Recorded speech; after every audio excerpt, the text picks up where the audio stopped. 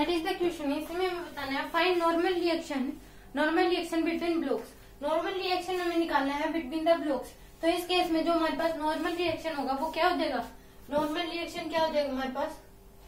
Zero because दोनों का normal reaction क्या है? Because normal reaction both same तो इस वजह से दोनों आपस में क्या हो जाएगा? कैंसिल है तो नेट नॉर्मल रिएक्शन क्या हो जाएगा हमारे पास? ज़ीरो